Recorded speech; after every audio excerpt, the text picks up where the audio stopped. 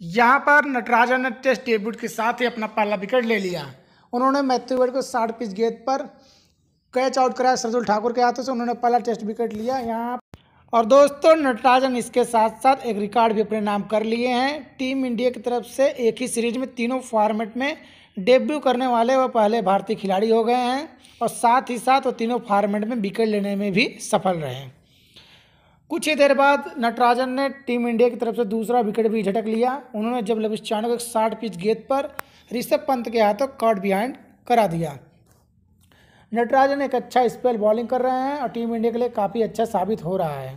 तो दोस्तों, ये रहा इंडिया वर्सेस ऑस्ट्रेलिया चौथे टेस्ट का लाइव अपडेट चौथे टेस्ट का अपडेट आगे का अपडेट हम आपको देते रहेंगे। अगर वीडियो पसंद आया हो तो वीडियो को लाइक करना ना भूलें।